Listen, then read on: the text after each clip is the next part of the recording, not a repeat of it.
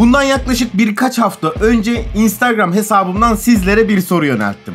Dedim ki artık biliyorsunuz ki ben kanalımda Twitch ve canlı yayınla alakalı içerikler üretiyorum. Bundan sonrasında YouTube kanalımda 2,5-3 senedir edindiğim tecrübeleri aktardığım bir video serisine başlamama ne dersiniz? Ve bu sorunun cevabında %99 oranında evet oyunu almış bulunduk ve bu serinin ilk videosu ile karşınızdayım.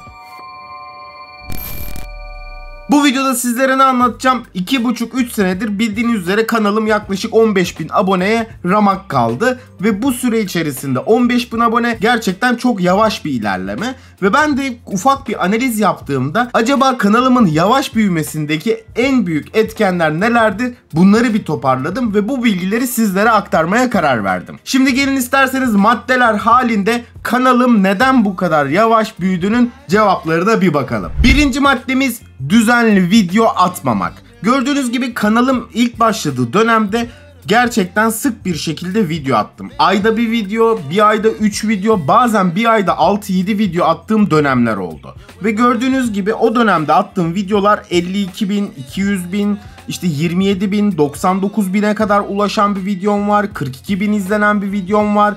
33, 39 yani gördüğünüz gibi hatta arada 181 bin izlenen videom bile var.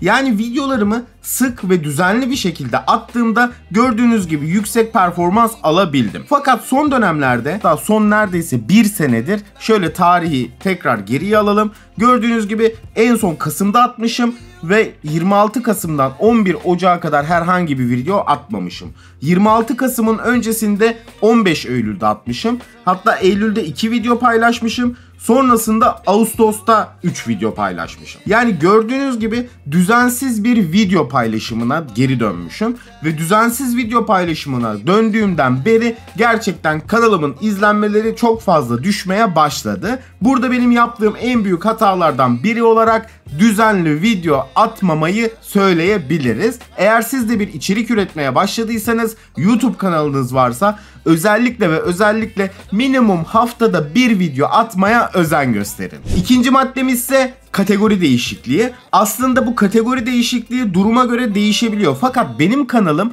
ilk başladığında direkt olarak OBS yayın ayarları, OBS Twitch eklentileri, işte montaj programı nasıl yapılır, biraz daha ileri gittiğimde yine gördüğünüz gibi bütün içeriklerim yayıncılıkla alakalı içerikler. Fakat son bir senede gördüğünüz gibi arada ürün incelemeleri yapmaya da başladım. Rampage'in notebook rampasından tutun da biraz daha şöyle aşağıya indiğimde bir ekran kartı incelemesinden hatta ve hatta biraz daha aşağı gittiğimizde kulaklık, webcam, hadi webcam yine yayıncılıkla alakalı bir içerik ama yine sonuçta eğitim kategorisinden ürün inceleme kategorisine geçmiş gibi bir şey oluyor.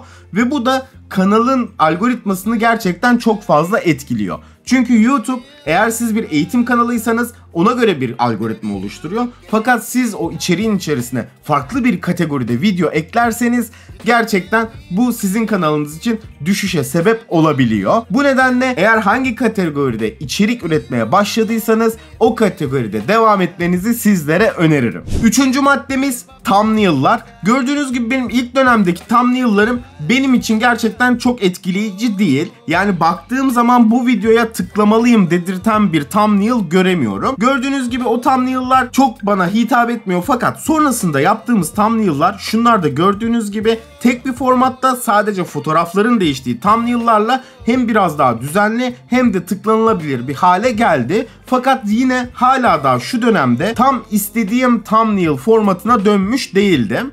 Fakat sonrasında gördüğünüz gibi biraz daha sade, biraz daha yazıların büyük olduğu thumbnail'lara geçiş yaptım. Onların da çok fazla etkisi oldu. Fakat gün sonuna geldiğimizde en son hazırladığım thumbnail'lar bile tam olarak benim dikkatimi çekmiyor açıkçası. Thumbnail'larımı daha iyi bir hale getirmem gerekiyor. Burada size önerim bildiğiniz gibi thumbnail'lar videonuzun vitrinidir. Yani siz bir video attığınızda eğer videonuz ana sayfaya çıkarsa gerçekten etkileyici olmalıdır ki insanlar o videonun içerisine girmek istesin, o videoyu izlemek istesin. Bu nedenle daha iyi thumbnail tasarımları, daha dikkat çekici thumbnail'lar kanalınızın büyümesinde büyük bir etki sağlayacağını düşünüyorum. Dördüncü maddemiz kitle etkileşimi. Kitle etkileşimi gerçekten çok önemli. Özellikle YouTube'da yorum alıyorsanız o yorumlara elinizden geldiğince hızlı bir şekilde cevap vermeye özen gösterin. Çünkü gelen yorumların uzunluğu ve sizin verdiğiniz doğru cevaplar o videonun algoritmasını gerçekten çok etkileyecektir.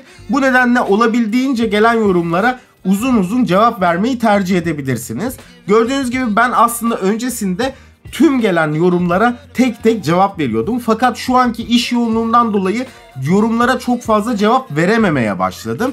Ve gördüğünüz gibi burada bir sürü cevap vermediğim yorum mevcut. Ve bunlar beni gerçekten çok rahatsız ediyor. Ve bu yorumlara tek tek cevap vermek istiyorum aslında. Fakat sizler en başından sıkı tutup her gelen yoruma hızlı hızlı cevap verirseniz yorumlar sekmenizde gerçekten bu şekilde birikmeyecek. Psikolojik olarak cevap vermenizi rahatsız etmeyecektir. Yani ben burada her yorum kalabalığı gördüğümde demoralize olup yorumlara cevap vermeyi kesiyorum açıkçası. Bu nedenle her gelen yoruma anında cevap verirseniz hem kanalınızın algoritması hem o videonun ön plana çıkması için gayet etkileyici bir tercih olacaktır. Beşinci maddemiz Instagram kullanımı. Ben gerçekten Instagram'ı çok yavaş kullanıyorum ve hatta neredeyse hiç kullanmıyorum bile diyebilirim. Instagram'ınızı ne kadar aktif kullanırsanız Instagram kitlenizi de YouTube'a çok rahat bir şekilde yönlendirebilirsiniz.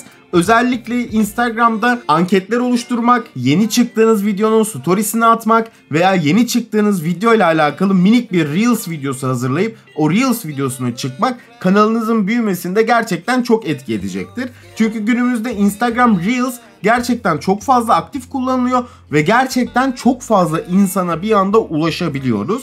Bu nedenle Instagram'ı doğru, düzenli ve gerçekten odak noktası olarak kullanırsanız YouTube kanalınızın büyümesinde inanılmaz derecede etkisi olacaktır. Bu biraz kısa bir videomuz oldu ama YouTube tecrübelerimi aktardığım ilk video için gayet yeterli olduğunu düşünüyorum. Bu videonun altına merak ettiğiniz soruları mutlaka ve mutlaka yazın. Ben de onunla alakalı videolar çekmekten gerçekten çok mutlu olurum. Umarım sizler için yararlı bir içerik olmuştur. Bir sonraki videomuzda görüşmek dileğiyle. Hoşçakalın.